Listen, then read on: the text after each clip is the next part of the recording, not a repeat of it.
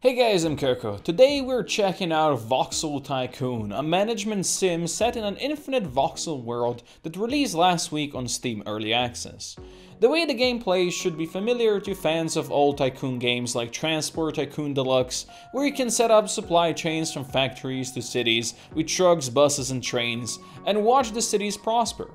I played the game on stream yesterday and I really enjoyed it, so let's jump in for more in-depth look at game mechanics. Now when you first jump into the game, you will be starting in this like central area with new areas all around you. These areas you don't have access to early on and you will have to spend money to get them. Of course, you will be earning money in your first area. And this one down here is the one that I bought. The reason why I bought it is because it had copper and uh, that's what I needed at the time. Now, all of these areas, you can click on them. You can see they have a city. It costs a lot of money usually for them the resources they have there and the stuff the cities demand. Of course, you can't zoom out too far out there. You can't see what is beyond, what lies beyond there. But the game says that the whole place is infinite. So there should be a lot of areas you can explore and just keep on expanding. So first I started with these three cities out here that I went on and connected. Now, first I went to play with Romney. Romney, which at that point had like 190 people. Right now it's almost up to 700, so that's much better. It demanded uh, iron ore and it demanded coal. That's the two things that it wanted. And it did have this iron ore mine over here. Now, Unlike Transport Tycoon Deluxe games, you have to build your own mining facilities. So I built an iron mine over here. You can build more as long as it is in here in this like deposit area. And as you can see, I built another one later on because I needed more iron. So we started with just uh, transporting iron over here, and these guys use that ore. What did they use it for? I have no idea. It doesn't have any end product, unfortunately. So you just deliver the iron ore over here, but it then it doesn't turn into something else, which is something I would love to see. It would be much more natural feeling. Like Which City just needs iron ore and doesn't do anything with it. Because later on, the city did demand iron bars, but I was the one that had to provide the iron bars and I could not use this plant over here. So what I did later on is build this iron foundry over here. It's alloy smelter, and uh, I connected it with a lot of these uh, tracks over here. Basically, you do have conveyor belts that you can connect to different warehouses. So basically, we have three warehouses over here. This one accepts iron ore and pumps it in here. This one accepts coal and pumps it in here. And combining coal and iron, five iron ore and one coal gives you one iron bar, which it then produces and it puts in here. And then these iron bars, we have trucks coming over here to the Romney station, and then they deposit it all the way back here and make money. Let's see how much money this bad boy is gonna make. That's 2k. It's a pretty good price. It's a pretty good price. Now, of course, the city demanded coal as well for their heating plant, and we did provide that via a train, as you can see over here. This one just cashed in. We didn't get to see how much money it was, but you see, we went all over this rugged terrain. This is not the perfect building, but when you start, you only have like 750 or 650, something like that money. And that is all loan. You do want to repay the loan because you're paying interest every month.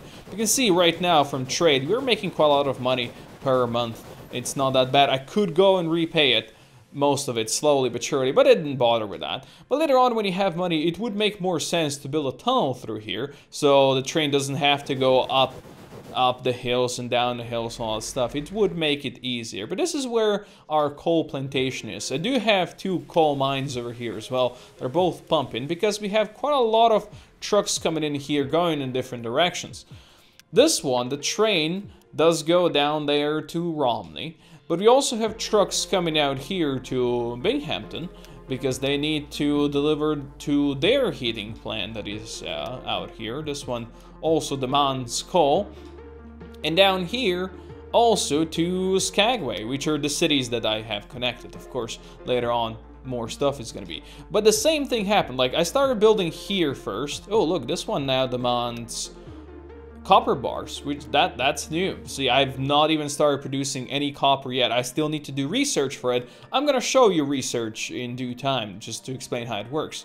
In any case, you know, this one first demanded iron ore and coal, I delivered those. Then he started mining iron bars, but I did not have research for it, and the building was like over here, and because I couldn't provide iron bars to it, it went bankrupt, and the building disappeared.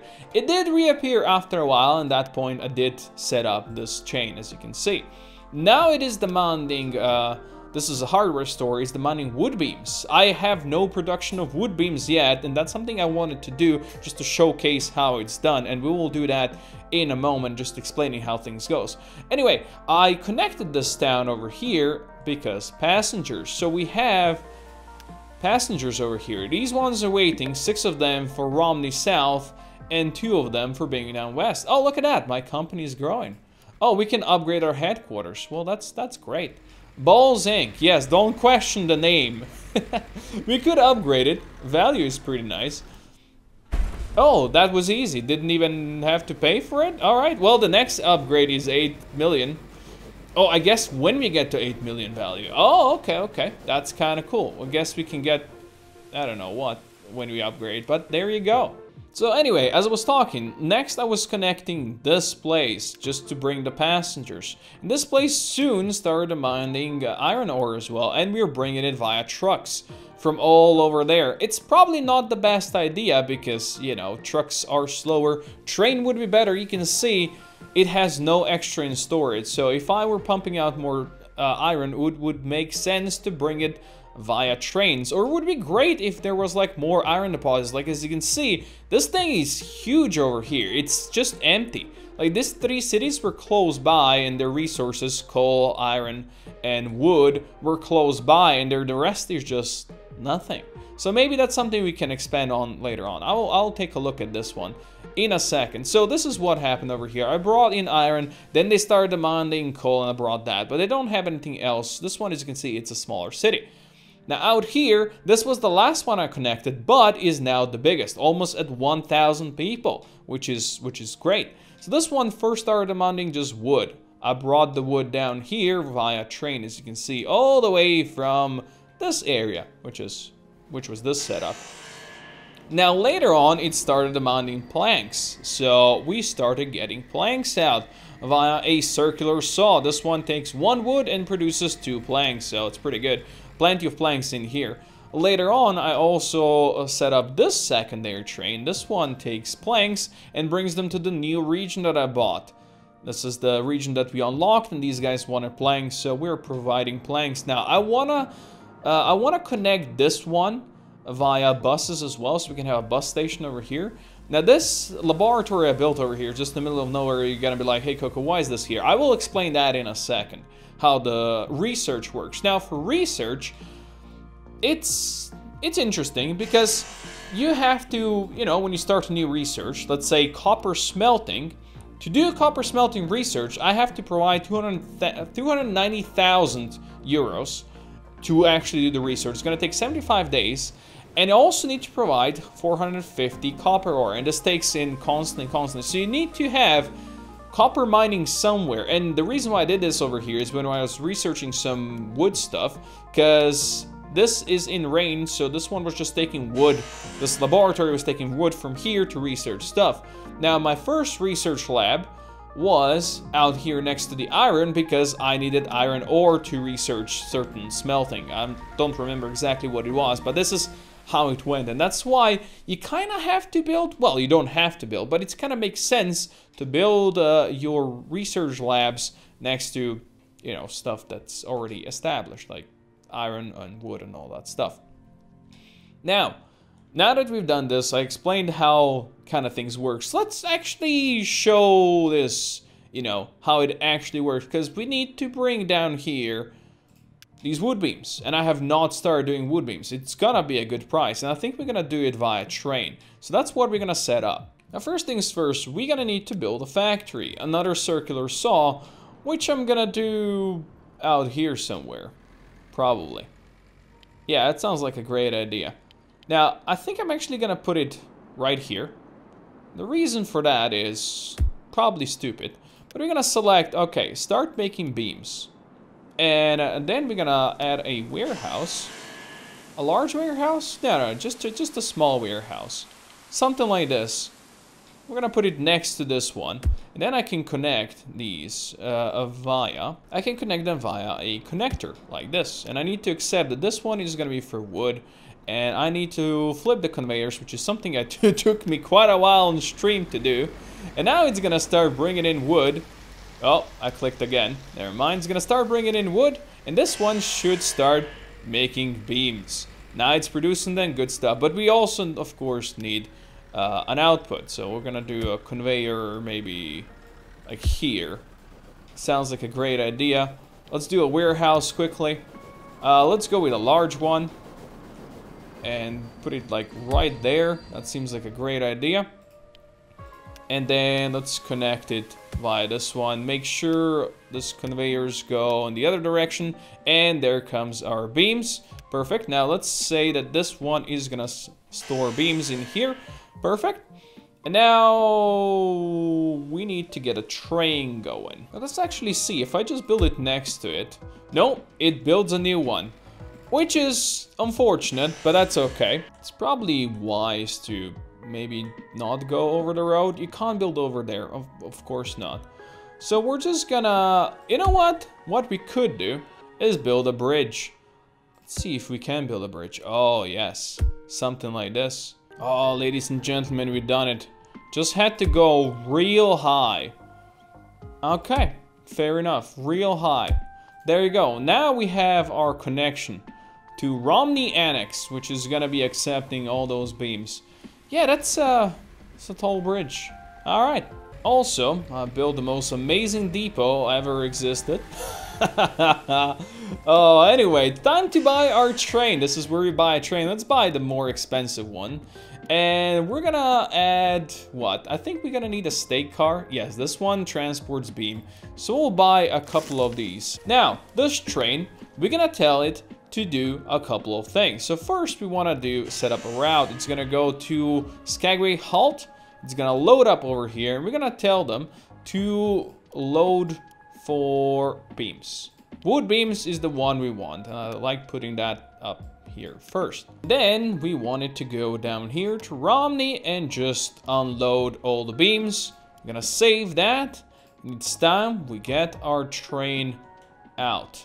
Now, we're gonna tell it to go to the other one first, otherwise it's gonna be lost. It's already lost. Go to the other one. Then we're gonna have it turn around. Look at it go.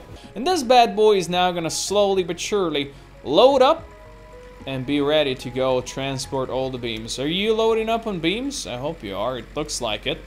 Oh, the glorious beams. Yeah, since we are not really uh, coping with the production of wood over here, let's go uh, and see what we have. Uh, sawmill. Gonna need another sawmill, otherwise this thing is not gonna be producing. And let's make sure this can connect to all of that. Right there, boom, that's gonna be more. Now, let's take a look at our new train that we just built. We can follow the vehicle like this. We're going on adventure, son. We can actually speed up the game. Because I want to see how much money we're gonna make out of all these beams, out of all these beams. Uh, let's see, ladies and gentlemen, have we done it? Are we making money? They're happy for the first set of wood that we brought them, where beams 12k! Hell yeah, now we're making money. So, because I haven't shown you how research works, let's click on the lab. We're going to use this lab over here. And we're going to start new research. I wanted to do mining too, but for mining too, which is going to allow us to mine copper, do a stone quarry and a sand quarry, we're going to need a lot of money, but we're also going to need wood beams. And since we do have wood beams now, I can start the research. As you can see, it's going to be using wood beams, and it's going to be using the money, and then it's going to start slowly but surely researching. And then we can open up on copper, which we have all the way down here. The copper ore is over here. It's to be great and very useful. And we're to transfer all that copper all the way down here. Well, after we sure make sure the copper mining is done. So we'll have to do that. Don't worry about it. And now let's all celebrate because Binghamton has reached 1,000 peoples. When we started, it had like 100 and so, or so maybe. So yeah, It's become quite a metropolis now, and that is Voxel Tycoon. You make industry, you transport stuff around, you bring the stuff to the people as they need it, and then you watch them grow and you help them grow. Now, keep in mind that this game is still in early access, so new features will be added as time goes on. But if you want to support the devs, the price is 20 euros right now and you can just grab it on Steam. As I said, it's in early access. Now I hope you enjoyed this video and I'll see you guys next time.